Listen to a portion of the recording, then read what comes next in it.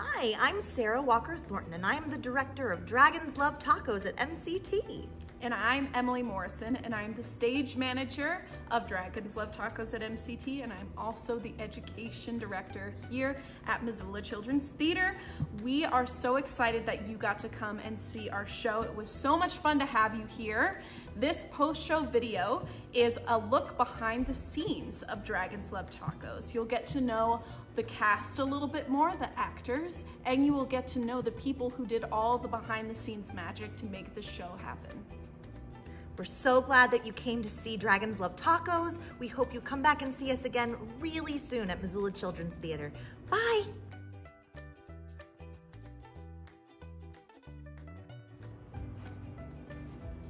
Oh, hey, I didn't see you there. My name's JJ and I play the Yellow Dragon. My name is Rachel Scholl and I am playing the person in suit, as you can see. Hi, my name is Kayla and I play the Red Dragon. Hi, I'm Elijah Miller and I play the White Dragon. Hi, my name is Andrew and I play Leroy the dog. Hello, my name is Kristen Sheeter and I play the Blue Dragon.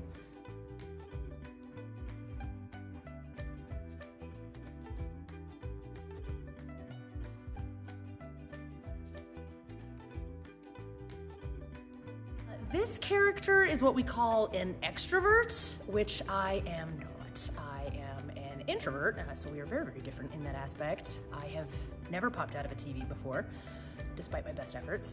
And my favorite part about my character is that he's a dancer. Are we very similar? Yes, we are. My favorite thing about my character is how nice my dragon is, and I think I do relate to uh, my character. I would say that I am quite a bit like my character. Leroy is very supportive of the boy throughout this entire adventure, and I try to be supportive of all of my friends in their various adventures as well. And I do like to play ball. My favorite thing about my character is the fact that he eats dogs. But he's not like me because I don't eat dogs. In fact, I have two of them at home. I'm actually very much like the Blue Dragon, or at least I was growing up when I was younger. I really struggled in social situations. I would get really shy and nervous. What I really like about the Blue Dragon in this show is the Blue Dragon gets a lot of confidence by the end of the show because she is feeling so much more comfortable around her other dragon friends and around the young boy and Leroy. My favorite part of my character is that he acts all tough but he's actually like really emotional. And he has all the expressions and stuff. Like um and um, he relates to me a little bit I guess. I've got a connection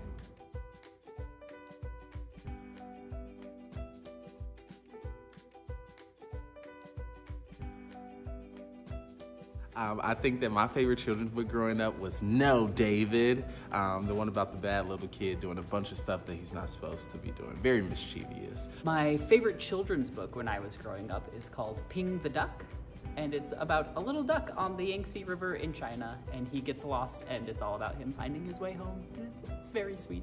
My favorite book when I was little was called The Stinky Cheese Man. If you haven't read it, I highly recommend it. My favorite uh, story that I read as a child growing up would be Alice's Adventures in Wonderland by Lewis Carroll.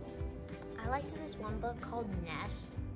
It was like a picture book and it had like one word on each page and a picture on the other. It was a cool book. My favorite children's book is Stellaluna, the one about the bat. My favorite children's book is Miss Nelson is Missing.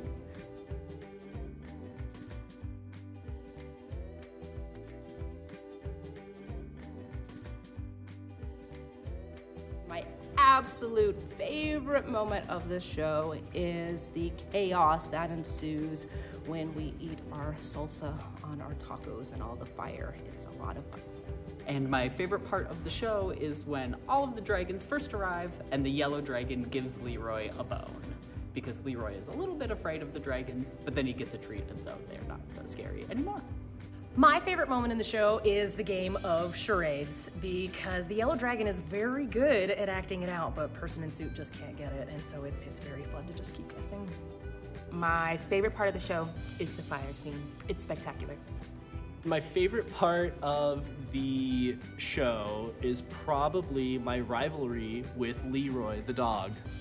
My favorite part of the show is probably when the audience gets to guess all of the um, mellow toppings because, like, I get to act all frustrated and I like acting frustrated. I think that my favorite part of the show would have to be the fire scene. I don't want to give away too much, but it's a lot of fun. I'll catch you later.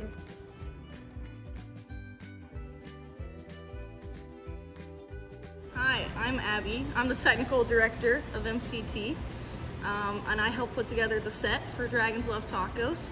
My favorite part was making the walls fall down and making the roof swing. I think that that was super fun. All right, so these are the walls that fall down during the show. So I'm gonna show you, it's just a little clip on the other side, and then they just come right down. One of the fun parts about doing this show was that I had a photo of from the last time that we did the show of the set and I got to put together all the pieces again and figure out how to recreate it. So this is the secret door which the person in suit uses to exit and come onto stage. So it opens just like that, TV, and then we have a fog machine here that shoots out for when they exit. Yeah. Hi, I'm Leslie Washburn and I am the lead properties artisan here at MCT. Um, I made all the props for the wonderful show Dragons Love Tacos, including lots of tacos and even more tacos. You know, who doesn't need a suitcase full of tacos? Got to make a lot of really fun uh, props for Dragons Love Tacos, including the, the mind-blowing, earth-shattering, titillating Secrets of Dragons book. Um, it's a big phone book, so it's not actually really heavy, but what's fun is only some of the pages are real, and in it I got to add some of the illustrations of some of the dragons. I really love the last one, which is in color. And then I got to put that on a much smaller version of our um, person in suit. And that was a lot of fun. Hi, I'm Ellie. I'm uh, the costume designer for Dragons Love Tacos. Um, it was really fun to design this. Um, we did do it a couple years ago, so I had a little bit of a framework to work with, but I did want to make it more uh, magical this year.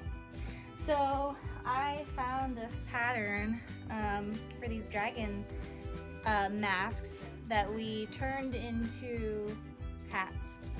Um, so they sit right on the head like this. And it was originally a um, leatherworking pattern, but I sort of manipulated it and turned it into a sewing pattern. So that was really fun, and I got a lot of really excited people um, noticing these masks, so that was fun. Um, we also added little eyeballs to make them um, even more realistic, even though dragons aren't real costumes were a really uh, fun part of this show because it brought a lot of color um, to stage and um, it was a really fun experience for me.